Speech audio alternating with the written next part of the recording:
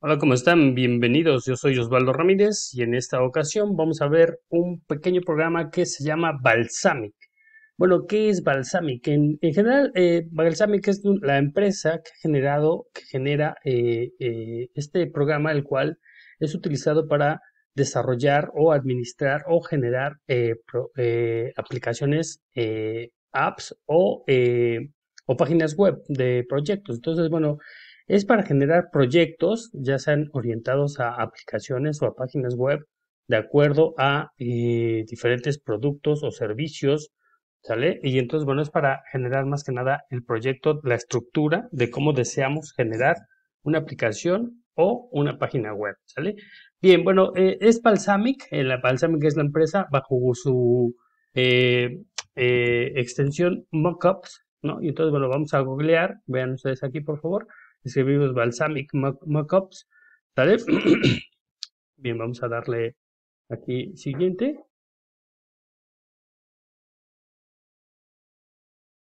Bien, entonces, bueno, buscamos, hacemos la búsqueda y bueno, vean ustedes aquí, ¿no? Como aparece aquí esta opción, ¿no? Crear app mockups online, ¿vale? Eh, bueno, hubo quienes por ahí eh, se perdieron un poco, no sé por qué no pusieron tanta atención en los otros videos, ¿verdad? Y entonces, bueno, pues hay que ser un poquito más específicos para que, bueno, pues no existan esos errores. Bueno, muy bien, entonces le damos aquí en eh, crear apps mockups online, ¿no? Y entonces nos manda aquí a esta página. Aquí en esta eh, página, bueno, pues como podemos ver, ¿no? Eh, se llama Bizard, ¿no? Dice productos, diseño, empresa, blog, login, eh, inscribirse gratis, ¿no? Entonces, bueno, hay que ir a esta parte, aquí, en inscribirse gratis, y entonces, bueno, pues nos pide un email, ¿no? Aquí nos inscribimos gratis como cualquier otra eh, compañía, cualquier otra empresa, eh, cualquier otra aplicación, cualquier otro servicio de Internet. Es exactamente lo mismo, ¿vale? En mi caso, bueno, pues voy a poner aquí mi correo de Gmail, ¿sí? posteriormente, bueno, pues nos pide un password, ¿no? Aquí hay que introducir un password. Y bueno, pues posteriormente, pues ya saben, como siempre, nos pide aceptar los términos del servicio. ¿sí? Muy bien, le damos en siguiente. Y bueno, pues nos pregunta el nombre. Bueno, le voy a poner aquí mi nombre. Eh, después, bueno, me pide aquí el apellido. Eh, voy a poner aquí mi apellido. Y finalmente, bueno, aquí nos dice, bueno, pues selecciona alguna posición. ¿no? El cual dice, bueno, ese es un ejecutador, ¿no? O eres este, un administrador de producto, administrador del proyecto, un analista de negocios, diseño, etcétera. Bueno, en este caso lo voy a seleccionar la opción de eh, eh, gestor de proyectos, ¿no? Porque para eso es lo, para lo que queremos el Balsamic, ¿no? Que es un gestor de proyectos, ¿vale? Y entonces, bueno, aquí vamos a ponerle, dice, nice to meet you, dice, Osvaldo, tu organización, nombre de la organización, bueno, le voy a poner aquí unas siglas de la universidad, ¿sí? Y posteriormente dice que si el diseño lo vas a crear para crear páginas web. Bueno, pues ok, sí. Páginas web. Dice, vas a, tienes un plan para eh, específico. Pues no, realmente no tengo ningún plan. Voy a hacer diferentes proyectos, ¿no? Luego que no. ¿Vale? Y le damos clic en siguiente.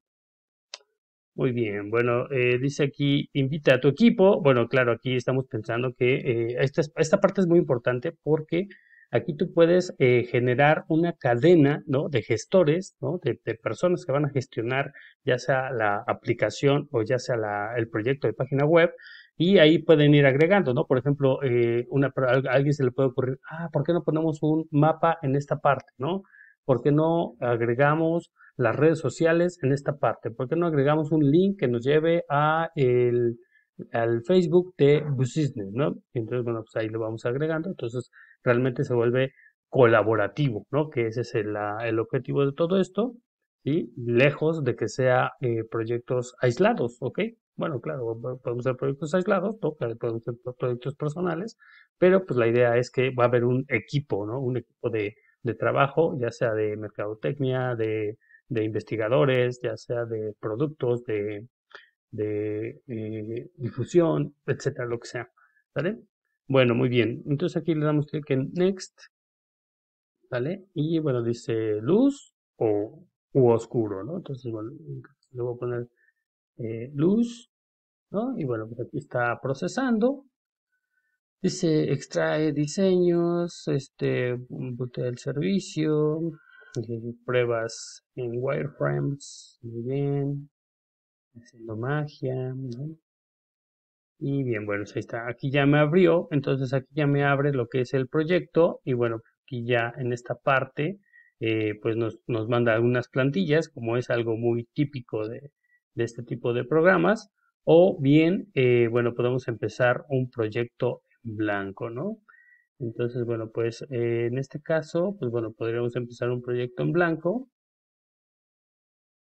Y bueno, si le damos aquí proyecto en blanco, nos dice, bueno, eh, ¿quieres una eShop o quieres una aplicación de viaje?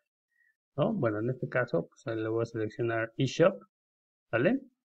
Y bien, bueno, por acá, vean ustedes, dice el más rápido y, la comunicación más rápida en la aplicación y, en ideas eh, web, en visualizaciones de ideas web, deja 30 segundos para verlo. Entonces, bueno, pues aquí ya estoy en lo que es la aplicación. Vean qué fácil, me inscribí de forma gratuita. Este, aquí, como podemos ver, ya están aquí las herramientas.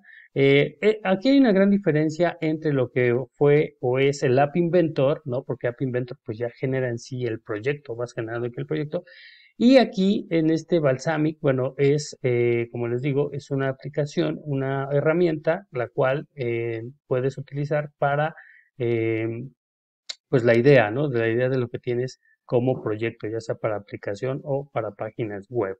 Bueno, pues muy bien, aquí ya es lo, un tanto lo, típico, ¿no? Un tanto las herramientas que ya conocemos tanto de este modo de visualización, ¿no? Tenemos aquí eh, texto, imagen, icono, botón, eh, forma, ¿no? Y etcétera, ¿no? Y aquí, por ejemplo, al lado izquierdo dice agregar eh, nueva pantalla.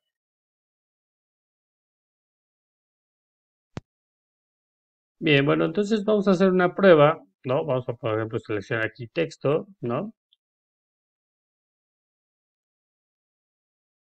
Aquí está texto, ¿no? Aquí arrastro eh, el objeto, ¿no? Y bien, eh, recuerden, aquí es algo muy similar a lo que estábamos, bueno, voy a mover aquí de pantalla para acá. Eh, lo que estábamos haciendo, trabajando en lo que es eh, App Inventor, bueno, pues de igual manera aparecen del lado derecho, aquí aparecen las eh, opciones del objeto, ¿no? Por ejemplo, dice tipo, ninguno, dice tema, layout, ¿no? Que es el, lo largo, la etiqueta, ¿no? Lo largo. Entonces, bueno, como puedes ver es un poco corto, aquí también te da las opciones de la flecha para poderlo ampliar o hacer más largo, más corto, ¿sí? Por ejemplo, aquí en el texto, pues voy a escribir eh, proyecto de prueba, ¿no? Vamos a ponerla aquí, bueno, vamos a agregar aquí un poquito grande la, la fuente, está muy pequeña. Desde aquí más de la fuente, más de 24, ¿no? Está. Y entonces, bueno, vamos a poner prueba para proyecto, ¿ok? Vamos a poner aquí prueba para proyecto. Prueba para proyecto. Ahí están. Aquí afuera. Y bueno, posteriormente en esta parte. Eh, perdón que me tarda un poco. Es que eh, choca con la con el marco de, de la grabación. Y entonces, bueno, aquí en la parte de más abajo, aquí, ¿no? Está lo que es el color, ¿no? Lo que es el color. Aquí mi texto y que esté centrado, ¿no? Está centrado. Y aquí está centrado. Bueno, para ya tardarme un poquito más en esto, vamos a darle clic aquí en imagen. Aquí te salen algunas imágenes que tiene eh, por default, ¿no? Por si sirve alguna de estas, pero si no, pues también podrías subir alguna de tu computadora. En este caso, de una manera muy rápida, voy a tomar una de las que ya están aquí, ¿sale? Y bueno, por ejemplo, pues ahí pongo una imagen, ¿no? Después, entonces, bueno, también otra parte de aquí, vamos a cambiarle el título al proyecto, ¿no? Entonces vamos a poner aquí proyecto para eh, proyecto de prueba, lo voy a poner, ¿no? Proyecto de prueba, ¿no? Y bien, vean aquí, por favor, parte importante también, dice, eh, una organización público, público para la organización o privado para mí. Entonces, bueno, que siempre esté público, ¿verdad? Pues no va a pasar nada eh, en este aspecto. Eh, a veces es muy difícil estar, estar buscando cuando le das clic está bloqueado. Entonces, bueno, siempre hay que mantener que estén públicos.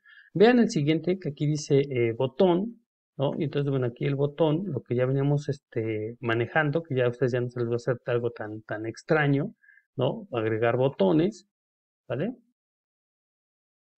Y bueno, pues este, este era la práctica que, bueno, ya habíamos dejado la vez pasada, pero bueno, por ahí en algunas, eh, eh, bueno, el video no, no sé si no lo vieron bien o no le comprendieron bien o algo pasó por ahí, pero bueno, pues esta sería la práctica que hay que hacer, ¿no?